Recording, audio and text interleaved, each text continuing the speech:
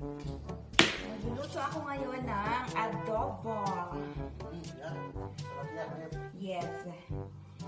Adobong baboy para sa asawa kong Bobby. Yes. Nako. Musang tulog.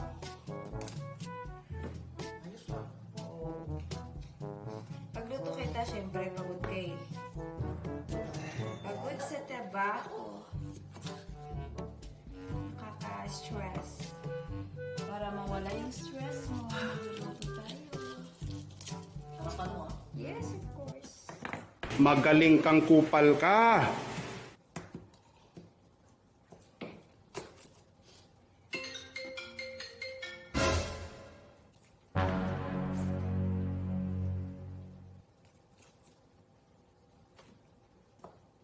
Hello, pre. Oh. Ah? Birthday pala ng inaanak ko? O kailan tayo mag-iinom yan? Ngayon?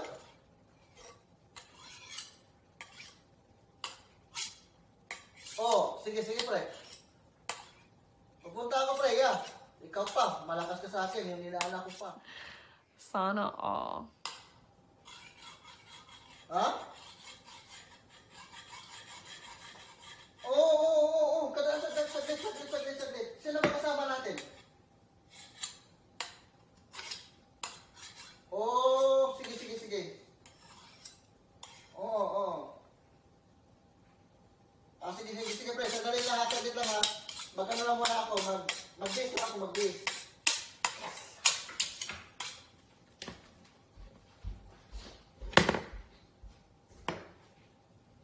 Ang bihira. Magluluto ako kasi aalis. Mag-iinit. Ano niluluto ko dito? Ang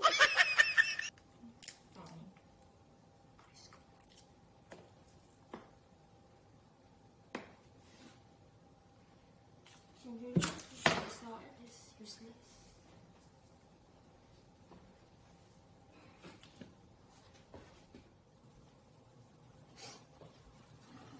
Sino kakain ng lulutuin ko? Wali siya. Eh, nagluluto lang ako sa wala.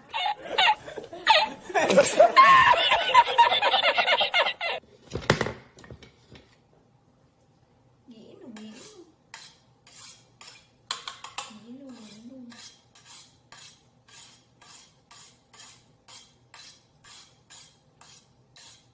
Nagluluto ko pa.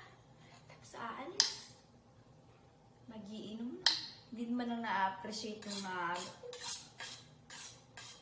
Uy, naku. Ayos ka mamaya.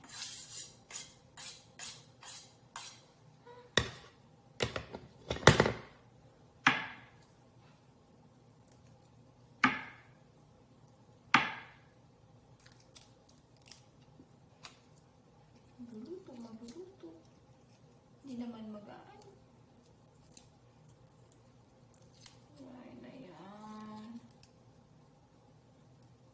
Because I know somewhere deep down in my heart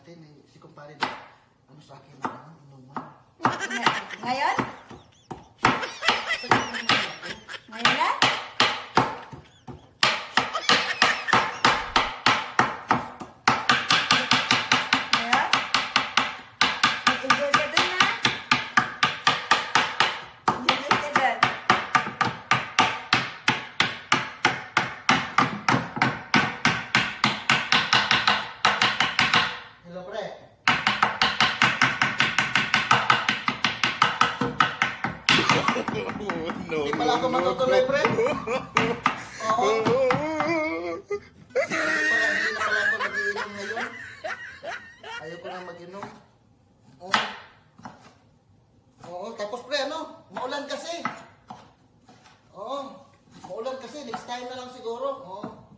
Masakit din yung ano ko, katawan. Grabe yung overtime naman kagabi. Ha, pre? Oo, next time na lang, next time na lang. Ah, sige, pasensya pre, talaga pre. Bigla kasi umulan, ang lakas ng ulan sa labas eh. Oo. Ah, sige pre. Pakirigas na lang ako sa ano ko pre. Inaano ko pre. Salamat pre ha. Salamat pre, salamat. Okay, sige, sige, bye. Sarapan ko na yung luto ko.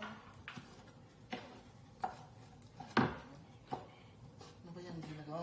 Parang nabubuan yan ah. Ah, masarap. Ako